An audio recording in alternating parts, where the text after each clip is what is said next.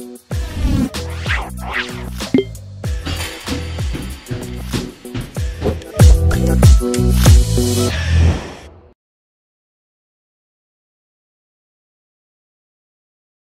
this video, we will be connecting an outdoor rated remote head to a remote head capable emergency light.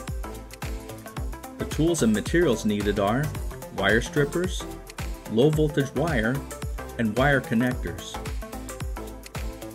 Ensure that the remote head is compatible with the emergency light. Check the remote head voltage and the remote head capacity of the light. This can be determined by the battery voltage.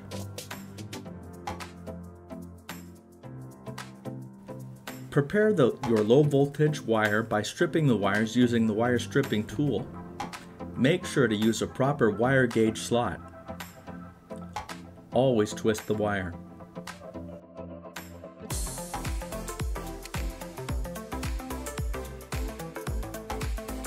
The remote head will have labeled wires, positive and negative. In some cases, the wires will be yellow and blue or red and black. Wire your low voltage wire to the remote head. If needed, strip the wires from the remote head. Remember always to tug on the wire to ensure a complete and secure connection.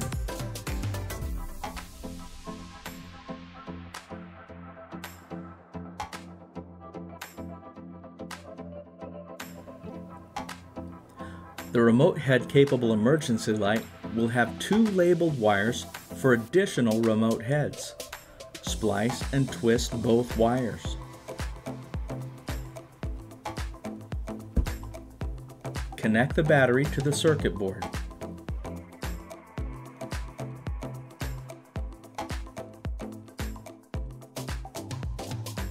Locate the quick disconnect plate.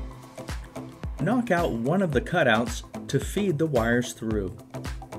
Once all necessary wires are through, snap the backplate in place.